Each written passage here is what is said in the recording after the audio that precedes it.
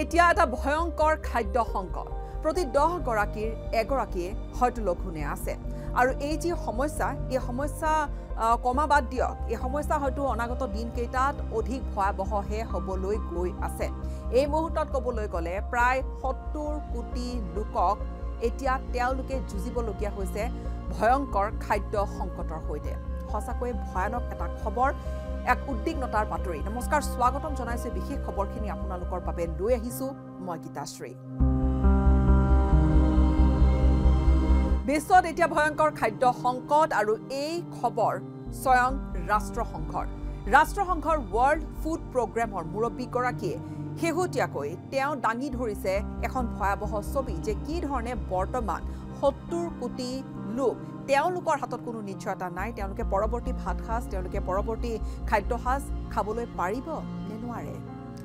World food প্ৰগ্ৰামৰ মুৰব্বীগৰাকী Cindy মেকেইনে তেওঁ ইউ এন ছিকিউৰিটি কাউন্সিলৰ এখন বৈঠকত তেওঁ কিছু তথ্য দাঙি ধৰিলে আৰু এইখিনি তথ্য আপোনালোকক এই মুহূৰ্তত ক'বলৈ বিচাৰিম।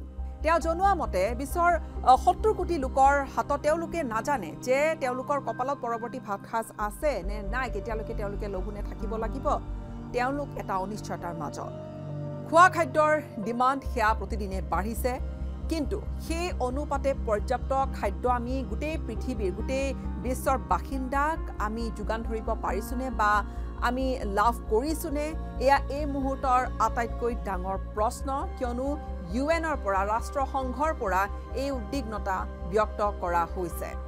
এতিয়া এয়াই বাস্তৱ। আৰু বিশ্বাস কৰক বা বিশ্বাস কৰিবলৈ আপুনি টান পাওক কিন্তু এতিয়াৰ যি পৰিস্থিতি আমি যদি এতিয়াই চম্ভালি নলওঁ তেনেহ'লে হয়তো অনাগত দিনকেইটাত এই পৰিস্থিতি আৰু অধিক ভয়াৱহহে হ'বলৈ গৈ আছে। পৰিস্থিতি ভাল তেতিয়াহে হ'ব যেতিয়া আমি এই মুহূৰ্ততে আৰম্ভ কৰিম। ইয়াৰ বাবে এটা চলিউশ্যন ওলোৱা।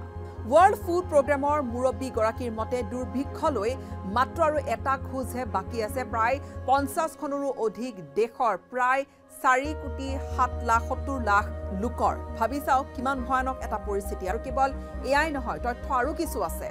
আৰু এই যে ভয়ানক খাদ্য সংকটৰ সৃষ্টি হৈছে ইয়াৰ পৰিপ্ৰেক্ষিতত বিশ্বত পাঁচ বছৰৰ তলৰ প্ৰায় চাৰি কোটি পঞ্চাছ লাখ শিশুৰ তেওঁলোক যথেষ্ট পুষ্টিহীনতাত ভয়ানক পুষ্টিহীনতাত তেওঁলোক আক্ৰান্ত হৈছে।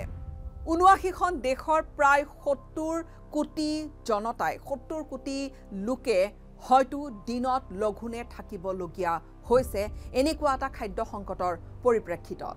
ইয়াৰ অৰ্থ হৈছে প্ৰতি বিশ্বৰ যদি আমি গোটেই জনসংখ্যা ধৰোঁ প্ৰতি দহগৰাকীৰ মাজত আমি যদি এটা গড় হিচাপ উলিয়াওঁ প্ৰতি দহগৰাকীৰ এগৰাকীয়ে লঘোণে থাকিবলগীয়া হৈছে।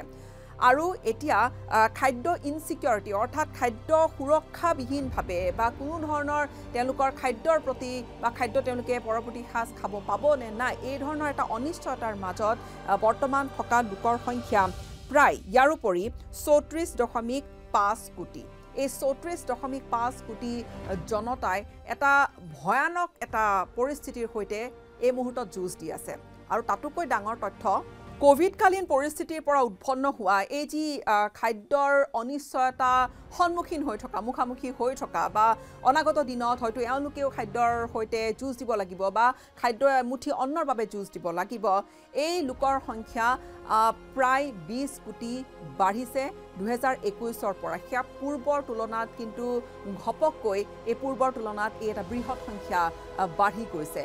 যাৰ পৰিণতি এয়া যে আৰু হয়তো অনাগত দিনবোৰ ভয়ানক হ'বলৈ গৈ আছে। লগতে ৱৰ্ল্ড ফুড প্ৰগ্ৰেমৰ মুৰব্বীগৰাকীয়ে আৰু এটা খুব ডাঙৰ কথা কৈছে যে আমি বৰ্তমান পৃথিৱীত এনেকুৱা কিছু এটাৰ পিছত এটা এটাৰ পিছত এটাকৈ আমি কিছু সংঘাতৰ সৈতে কিছু সমস্যাৰ সৈতে জুৰুলা হৈ পৰিছোঁ যুঁজ দি দি যে ইয়াৰ যি পৰিণতি সেয়া এটা দীৰ্ঘকালীন সংকট হ'বলৈ গৈ আছে। এই সংকট হ'ব মানুহৰ বাবে মানৱ জাতিৰ বাবে এটা বৃহৎ সংকট। এনেকুৱা ধৰণৰ পৰিস্থিতিৰ সৈতে আমি বৰ্তমান যুঁজ দি থাকিবলগীয়া হৈছে। এয়া নতুন নৰ্মেল হৈ পৰিছে তেওঁৰ ভাষাৰেই। আৰু ইয়াৰ পৰিণতিত কি হ'ব? অনাগত কেইবা বছৰলৈকে এই যি সৃষ্টি হৈছে সমস্যাটোৰ আৰু এদিনত নিশ্চয়কৈ ইয়াৰ সৃষ্টি হোৱা নাই। আজি কিছু বছৰ ধৰি এই ধৰণৰ এটা খাদ্য সংকটৰ সৃষ্টি হৈ আহিছে। ইয়াৰ সৈতে আমি আহিবলগীয়া আৰু বহু বছৰত আমি যুঁজ দি থাকিব লাগিব। ইউ এন ছিকিউৰিটি কাউন্সিলৰ এখন বৈঠকত তেওঁ এইখিনি উদ্বিগ্নতাৰ তথ্য তেওঁ দাঙি ধৰিছে। লগতে কিন্তু তেওঁ কিছু আন কথাও দাঙি ধৰিলে যে ইয়াৰ কাৰণটোনো কি? এই যে খাদ্য সংকটৰ কথা আমি কৈ আছোঁ এই যে অন্ন এমুঠিৰ বাবে হাহাকাৰ কৰিবলগীয়া হৈছে। ইয়াৰ মূল কাৰণটো কি? কাৰণ কেইবাটাও হৈছে। ইয়াৰ ভিতৰত অন্যতম এটা কাৰণ হৈছে সংঘাত কনফ্লিক্ট বিশ্বৰ বিভিন্ন ঠাইত বিভিন্ন ধৰণৰ কনফ্লিক্ট হৈ আছে। সেয়া ইউক্ৰেইনৰ কনফ্লিক্টৰ কথাই কওক বা আন আন দেশৰ আন আন বিভিন্ন দেশৰ বিভিন্ন পৰিস্থিতিৰ কথাই কওক এই কনফ্লিক্ট এই সংঘাত এটা মুখ্য কাৰণ। কিন্তু এয়াই অন্ত নহয়। ইকনমিক শ্বক এটা অৰ্থনৈতিকভাৱে যি ক'ভিড পেণ্ডামিকৰ পিছত যি এটা অৰ্থনীতি ভাঙি পৰা এটা পৰিস্থিতিৰ উদ্ভৱ হৈছে আমি গোটেই পৃথিৱীৰ তুলনাত চাবলৈ গ'লে আমি ভাৰতবৰ্ষই এই ক'ভিডকালীন যি পৰিস্থিতিৰ সৈতে আমি বহু ভালদৰে মোকাবিলা কৰিবলৈ সক্ষম হৈছোঁ। শেহতীয়াকৈ বিভিন্ন বিশ্বত বিশ্বৰ বিভিন্ন সংস্থাত বা বিভিন্ন ধৰণেৰে বিশ্বত এই আলোচনা হৈছে যে আমি ভাৰতে যিধৰণে মোকাবিলা কৰিছোঁ তাত আমাৰ আত্মনিৰ্ভৰশীলতা ফুটি উঠিছে। আমি ভাৰতে বহুখিনি নিজকে চম্ভালি ল'বলৈ সক্ষম হৈছোঁ। কিন্তু পৃথিৱীৰ এনেকুৱা বহু ঠাই আছে যি সম্পূৰ্ণৰূপে এই ঠাইসমূহৰ অৰ্থনীতি ক'ভিড নাইণ্টিনে কঁকাল ভাঙি দিছে। তেনে পৰিপ্ৰেক্ষিতত ক'ভিড নাইণ্টিনৰ বা সেই ক'ভিড মহামাৰীৰ পৰিপ্ৰেক্ষিতত সৃষ্টি হোৱা যি এটা পৰিৱেশ আৰু শেহতীয়াকৈ অৰ্থনৈতিক উত্থান পতনৰ বিশেষকৈ পতনৰ পৰিপ্ৰেক্ষিতত এই এটা খাদ্য সংকটৰ সৃষ্টি হৈছে। ই এটা মূল কাৰণ বুলি কোৱা হৈছে। কিন্তু এয়াই নহয়। লগতে চাবচোন আজি কিছু বছৰ ধৰি কেনেকুৱা ধৰণৰ ক্লাইমেট এক্সট্ৰিমৰ আমি সন্মুখীন হৈ আহিছোঁ আমি মানৱ জাতি ক্লাইমেট এক্সট্ৰিম মানে কেতিয়াবা যদি খৰাং হৈছে আবতৰীয়া খৰাং হৈছে তাত য'ত পানী বৰষুণ হ'ব লাগিছিলে তাত বৰষুণ হোৱা নাই বছৰ পাৰ হৈছে দিন পাৰ হৈছে তাত বৰষুণৰ পৰিমাণ কমি আহিছে যাৰ পৰিপ্ৰেক্ষিতত পৰ্যাপ্ত পৰিমাণৰ খাদ্য উৎপাদন কৰিব পৰা হোৱা নাই। খেতি কৰিব পৰা হোৱা নাই। এনেকুৱা ধৰণৰ এটা পৰিৱেশৰ সৃষ্টি হৈছে। আৰু ক্লাইমেট এক্সট্ৰিম জলবায়ু পৰিৱৰ্তন হৈছে সেয়া আমি এতিয়া এখন নামানি আমি সেই কথা থাকিব নোৱাৰোঁ। জলবায়ু পৰিৱৰ্তনে কিমান এটা ভয়ানক ৰূপ ধাৰণ কৰিছে সেয়া আমি অৱগত। ক'ৰবাত যদি পাহাৰত ভয়ংকৰভাৱে ভূমিস্খলনেই হৈছে ডাৱৰ বিস্ফোৰণ হৈছে ক'ৰবাত আচলতে এনেকুৱা বেছি বৰষুণ হৈছে অতিবৃষ্টি হৈছে যাৰ পৰিপ্ৰেক্ষিতত এখন দেশ ক'বলৈ গ'লে শেষ হৈ গৈছে। অনাগত বহু বছৰলৈকে সেই দেশখন অৰ্থনীতিৰ বোজা এটা বহন কৰিবলগীয়া হৈছে। মুঠৰ ওপৰত এই জলবায়ু পৰিৱৰ্তনৰ পৰিপ্ৰেক্ষিতত বহু ঠাইত বহু সাল সলনি হৈছে আৰু ডাঙৰ কথাটো হৈছে খাবলৈ আমি উৎপাদন কৰিব লাগিব আমি খেতি কৰিব লাগিব। কিন্তু সেই খেতি আমি হয়তো যদিও কৰিছোঁ কেতিয়াবা বতৰৰ সৃষ্ট পৰিৱেশৰ পৰিপ্ৰেক্ষিতত এয়া খেতি নষ্ট হৈ গৈছে কেতিয়াবা হয়তো আমি খেতিত হাত দিব নোৱাৰা অৱস্থাও হৈছেগৈ। মাটিত মেলিছে চিৰাল ফাট। আৰু এনে পৰিপ্ৰেক্ষিতত এনেকুৱা ধৰণৰ জলবায়ুৰ পৰিৱৰ্তন বা জলবায়ু একেবাৰে এক্সট্ৰিম হৈ পৰাৰ পৰিপ্ৰেক্ষিতত আমি গোটেই পৃথিৱীৰ মানুহে আমি যথেষ্ট লোকচানৰ সন্মুখীন হৈছোঁ আৰু ইয়াত আমাৰ খাদ্য উৎপাদন হ্ৰাস পাইছে কমিছে প্ৰভাৱিত হৈছে। কিন্তু এই তিনিটা কাৰণৰ উপৰিও আন এটা কাৰণ কাৰণ হৈছে যে বৰ্ধিত যি ফাৰ্টিলাইজাৰ সাৰৰ মূল্য সাৰৰ মূল্য ইমানেই বাঢ়িছে যে সেই সাৰ কমকৈ ক্ৰয় কৰাই হওক বা সেই সাৰ ব্যৱহাৰ কৰিব নোৱাৰাৰ পৰিপ্ৰেক্ষিতত কি হৈছে উৎপাদন কমিছে।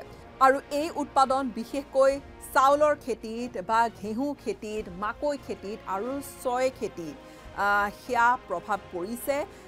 যি ধৰণে উৎপাদন হ'ব লাগিছিল যি ধৰণে তাত প্ৰডাকশ্যন হ'ব লাগিছিল সেইধৰণে ঘেঁহু উৎপাদন হোৱা নাই সেইধৰণে মাকৈ উৎপাদন কৰিব পৰা খেতি কৰিব পৰা হোৱা নাই। তেনে পৰিপ্ৰেক্ষিতত ক্ষতিৰ সন্মুখীন হৈছে খাদ্য সংকট বাঢ়িছে। যিহেতু অন্ন উৎপাদনেই কৰিব পৰা নাই পৰ্যাপ্ত পৰিমাণে। এতিয়া ইয়াৰ চলিউশ্যন কি? ইয়াৰ সমস্যাটো কি? সেয়া আটাইতকৈ ডাঙৰ কথা। ৱৰ্ল্ড ফুড প্ৰগ্ৰেমৰ মুৰব্বীগৰাকীয়ে মেকেনে তেওঁ কৈছে যে এই সমস্যাটোৰ সমাধান কেৱল এটা পদ্ধতিৰে হয়তো সম্ভৱ নহয়। হয়তো কেইবাটাও উপায়েৰে সকলোৱে মিলি এই সমস্যাটোৰ আমি এই সংকটৰ আমি উৰ পেৰাব লাগিব। আমি ইয়াৰে সৈতে মোকাবিলা কৰিব লাগিব। ইউ এন ছিকিউৰিটি কাউন্সিলৰ এই বৈঠকখনত য'ত বহু বিজনেছ লিডাৰ য'ত উপস্থিত আছিল সেই সকলোকে সম্বোধন কৰি তেওঁ কেইটামান খুব গুৰুত্বপূৰ্ণ কথা তেওঁ উল্লেখ কৰিছে যে আমাৰ যি এই পদক্ষেপ এই পদক্ষেপবোৰ হ'ব লাগিব খুব এম্বিচিয়াছ খুব দূৰদৰ্শী আমি পদক্ষেপ এটা ল'ব লাগিব আৰু হ'ব লাগিব মাল্টি ছেক্টৰিয়েল পাৰ্টনাৰশ্বিপৰ জৰিয়তে। মাল্টি ছেক্টৰিয়েল অৰ্থাৎ ক'ৰবাত চৰকাৰে সহায় কৰিব ক'ৰবাত প্ৰাইভেট পাৰ্টনাৰশ্বিপে সহায় কৰিব আৰু এই ধৰণৰ সহায় অৰ্থাৎ সহযোগিতা সহযোগিতাৰ মাজেৰেহে বিশ্বৰ এই ডাঙৰ হয়তো সংকটৰ পৰা মুক্তি পাব পৰা যাব। সকলোৰে সহযোগিতাৰ মাজেৰে হয়তো এই খাদ্য সংকটৰ পৰা পৃথিৱীয়ে ৰক্ষা পৰিব পাৰিব। আমি বিশ্ব সমুদায় আমি ৰক্ষা পৰিব পাৰিম আৰু সমান্তৰালকৈ দৰিদ্ৰতা নিৰ্মূল কৰিব পৰা যাব যদিহে সকলোৰে সহযোগিতা থাকে। এতিয়া এই বিষয়টো উত্থাপন হৈছে ইউ এনৰ এই তথ্য। নিশ্চয়কৈ এটা খুব এটা উদ্বিগ্নতাৰ তথ্য এই তথ্যটোৰ পিছত এতিয়া যিহেতু ইতিমধ্যে উল্লেখ হৈছে যে সত্তৰ কোটি লোকে এমুঠি অন্নৰ বাবে হাহাকাৰ কৰিবলগীয়া হৈ আছে বৰ্তমান তাৰিখত আৰু কিমানে লঘোণে ভোকে শুবলগীয়া হৈছে এয়া নিশ্চয়কৈ সহজভাৱে ভাবিব পৰা কথা এটা নহয়। ইয়াৰ সমাধান কি ধৰণে ওলাব সেয়া ডাঙৰ কথা আৰু সমাধান অতি শীঘ্ৰে ওলাব লাগিব। নহ'লে হয়তো ভৱিষ্যত আমাৰ অতি ভয়ানক হ'বলৈ গৈ আছে।